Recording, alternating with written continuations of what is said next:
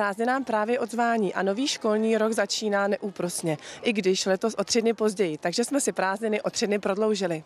Ti mladší se do školy po dlouhých letních prázdninách většinou těší.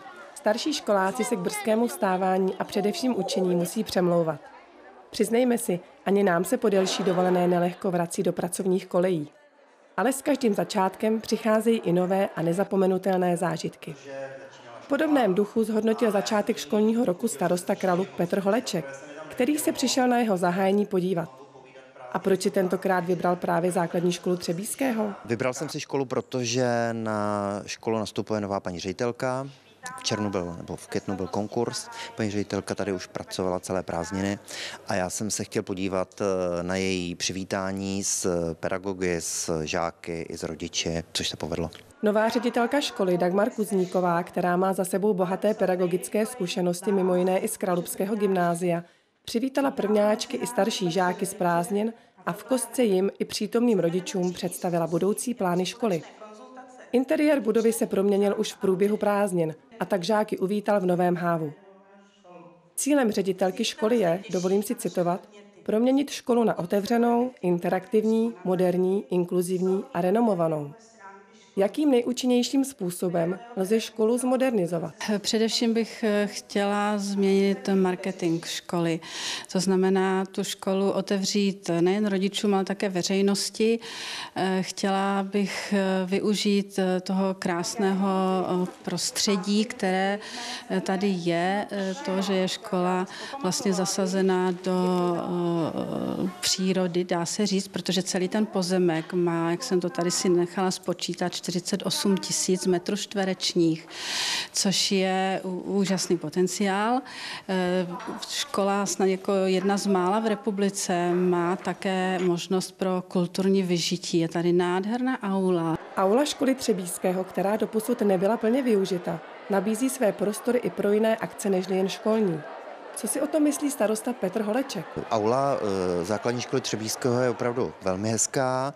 Eh, vím, že ostatní základní školy jí to celkem závidí, protože to je veliká prostora s balkónem eh, i s docela slušnou akustikou.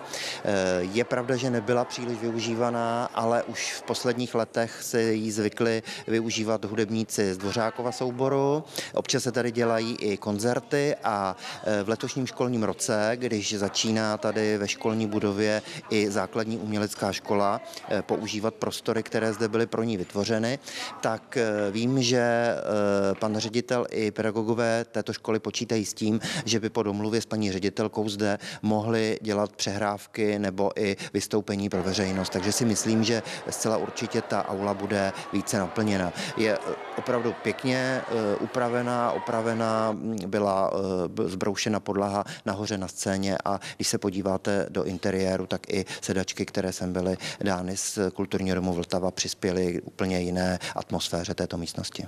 Každý prvňáček má svého deváťáka. To je název projektu školy, který byl zaveden v minulosti a velice se osvědčil. I letos na pódium každého prvňáčka doprovodil o 8 let starší kamarád, který by mu měl být psychickou podporou po celý školní rok.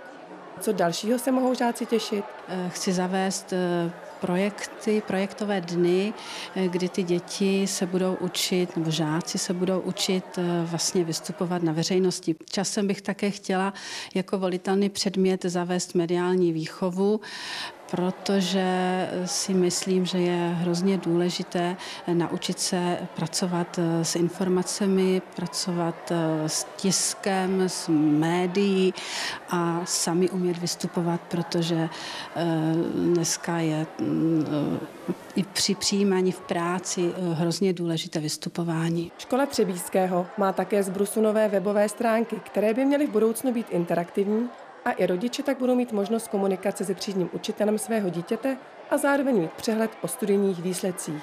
Jsem ochotná i ze strany rodičů přijmout jakýkoliv podnět, i kritiku, co je špatně, co se nelíbí a určitě se neurazíme, protože správně mířená kritika vede vždycky k rozvoji.